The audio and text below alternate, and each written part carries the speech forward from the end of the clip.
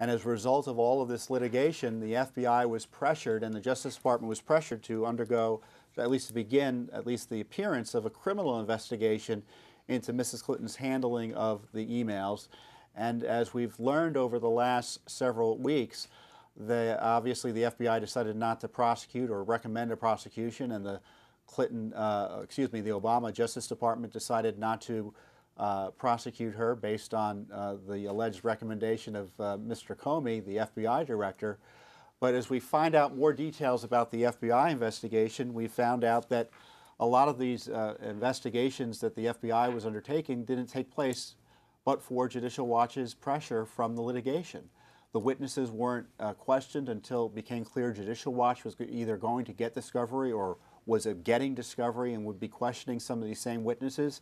It was so bad that we just learned in the latest FBI document dump that the FBI was using documents produced to Judicial Watch under the Freedom of Information Act with redactions. So they couldn't even get the full document. And they were using those documents to question the witnesses. And of course, there's a lot of outrage about the FBI immunity agreements or Department of Justice immunity agreements granted uh, Cl uh, the Clinton aides uh, at issue in this case. And we'll get into that later. Uh, but uh, just so you know, there will be more Clinton emails coming out thanks to the Judicial Watch litigation. Again, it was our litigation that, again, forced the FBI to do the half-baked investigation it did, as it, as it, turns out, but it did produce new Clinton emails, including 14,900 emails, at least that she didn't want uh, uh, anyone to see because she deleted them. And many of those deleted emails were uncovered by the FBI and turned over to the State Department, and uh, several thousand of them are going to be turned over to the American people as a result of litigation. First by Judicial Watch and News This Week is that Vice News, which is uh, Jason Leopold of Vice News, which is separately pursuing litigation, is getting even more emails. Uh, so the litigation is going to re result in Clinton emails that she didn't want produced at all to the American people being produced perhaps even before Election Day, at least a portion of them. And on top of that, I think we should point out that uh, uh these emails will be produced even after the election.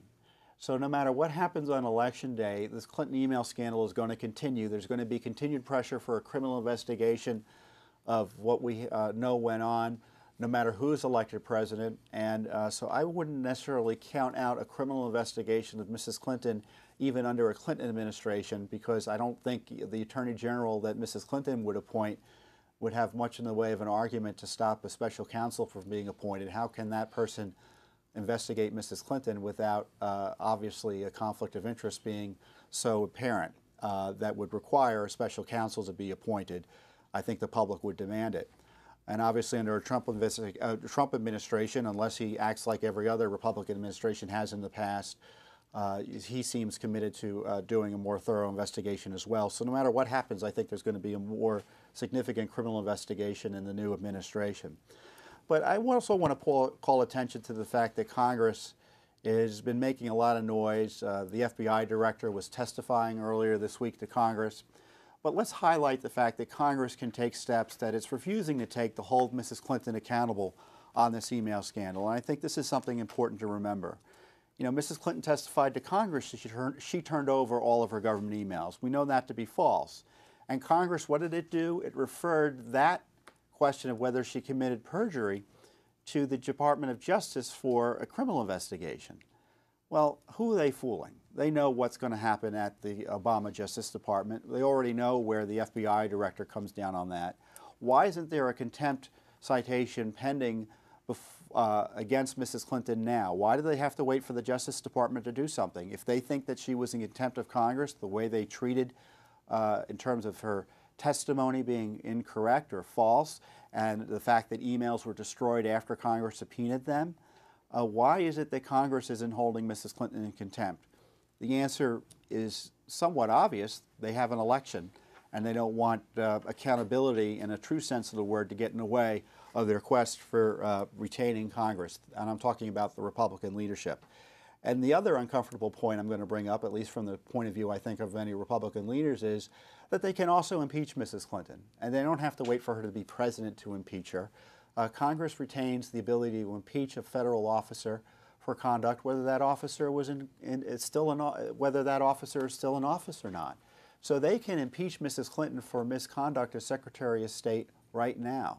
And you uh, tell that to a Republican member of Congress, and the general response you get is stunned silence, but it's true.